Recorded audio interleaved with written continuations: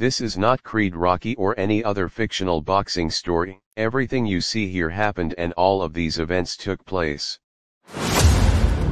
Previously, on Behind the Boxer, you witnessed Flo, Coach Rick, and their unwavering team embark on a tumultuous journey to Nashville, Tennessee. Through trials and tribulations, they persevered, arriving at the brink of battle. Now, as the saga unfolds, brace yourselves for the next chapter in this gripping tale of determination and valor.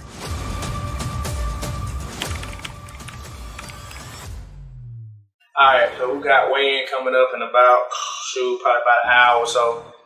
This is actually the best weigh-in I did so far. Usually, but the only thing I like about this weigh-in is at seven o'clock. I mean, it's damn near on fight day, but hey, we're gonna roll the punches. Um, but the thing that was good about this one, like I said, Coach Rick Rule, he got me to bring my scale to this fight, which I usually never bring my scale to a weigh-in. I usually just fly.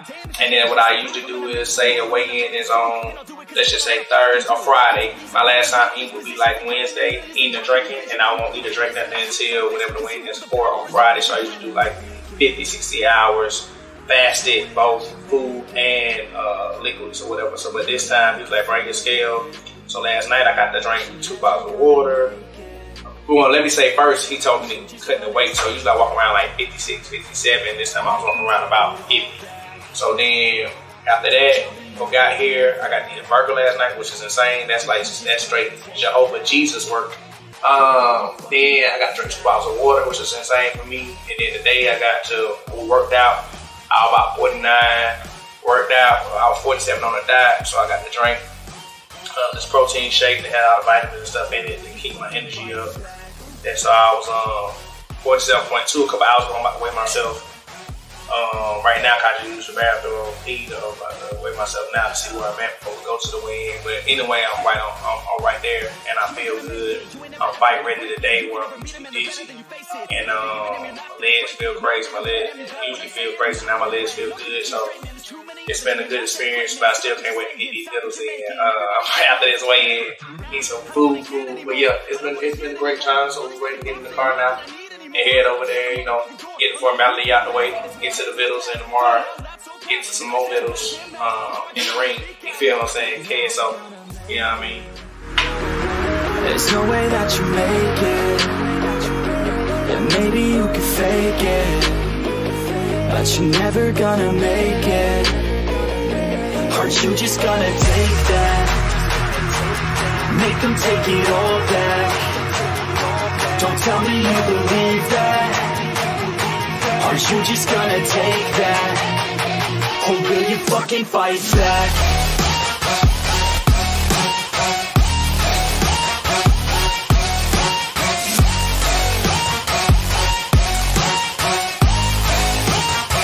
Or will you fucking fight back?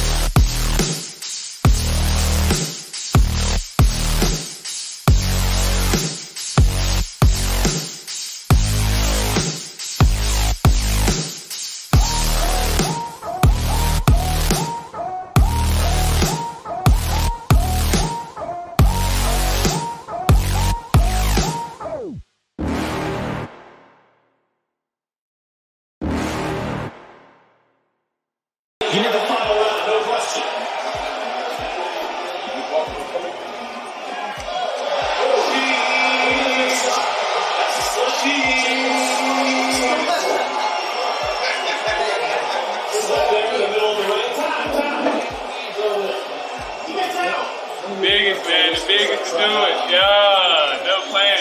All right, bro. All right, man. The best man win.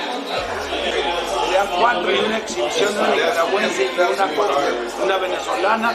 Así que ya saben lo que tenemos de la World aquí mañana de las 6 a las 5 en adelante. Gracias mi cubita por ser una gran trabajadora. Amo a todo el mundo. Yeah, man. Just got finished a weigh-in. End coming in official weight, 143 pounds. I'm really just ready to get this shit going, man. I'm, I'm, I'm anxious already. I really just want to get in there and punch this nigga in this shit. No disrespect, but I just want to punch him in stuff. All the goofy giggling and shit. Should never shook my hand. I just realized he really weak as fuck. He tried to shake my hand to be funny, but nigga Bones made a goddamn milk, so it's about to be a crazy night. I hope he ready, because I'm coming straight to the middle of this little ass ring. And I'm really gonna go goddamn try to put as many hands as I can, like a punching bag. I ain't stopping till he drop it. You did what I'm saying, kid? So, all five no motherfucking smoke. Y'all thought we was dead, we just went ahead of a group. Let's get it. Gloves talk behind the boxer. Coach Rick Real, Coach K. Let's go. End up being 143 on that old ass scale that Muhammad Ali used to step on. Mm. Um, yeah, that was crazy. I ain't seen a scale that old in at least ever. Yeah. But yeah, when it got when it got our bills, man, feeling good. We went in there. We were, we we was official whistle. We had got their outfits on. Everybody was looking there like I don't know who those who those guys are, but they gotta be somebody. Yeah, it was, it was a good time, man. Had a good time. Got in there, did the face off. Face off was cool. Um, now we just coming here eating the vittles, enjoying ourselves. We'll get some rest in.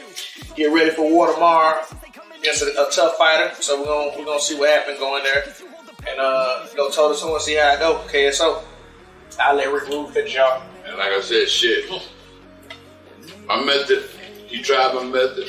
And being he tried my method, my method worked.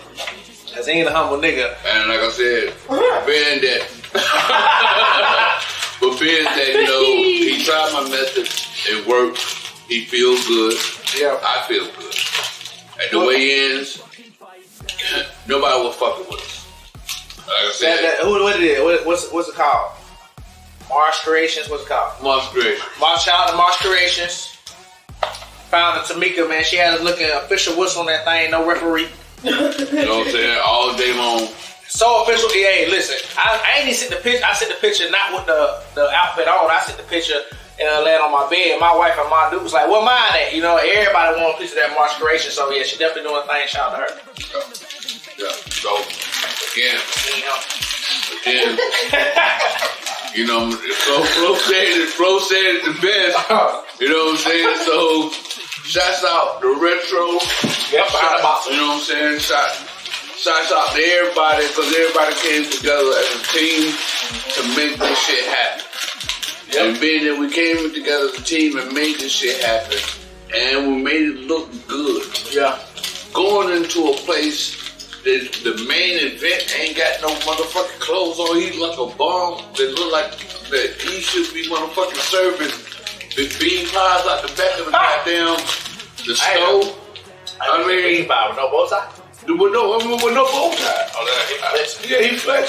You know what I'm saying? But for us to come in now looking official, being official, as you look in the weigh-in,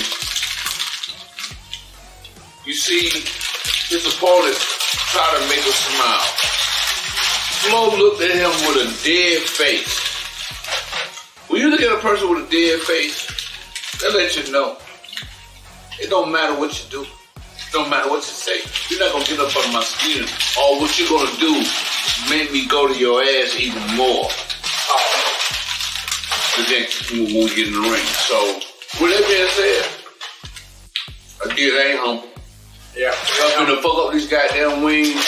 What kind of wings you got over there? I got some Rick Ross wings over this. Them things look official. What's, what, what these is? What flavor? Uh, I think these are uh, the Polynesians. As the weigh-in concludes and Flo indulges in some well-deserved boo noodles, anticipation reaches its zenith. The stage is set, the fighters primed. But amidst the camaraderie and indulgence, the looming question remains, Will Flo emerge victorious can he conquer his opponent and seize the glory that beckons join us next week for the final showdown, as the saga of Behind the Boxer reaches its electrifying conclusion.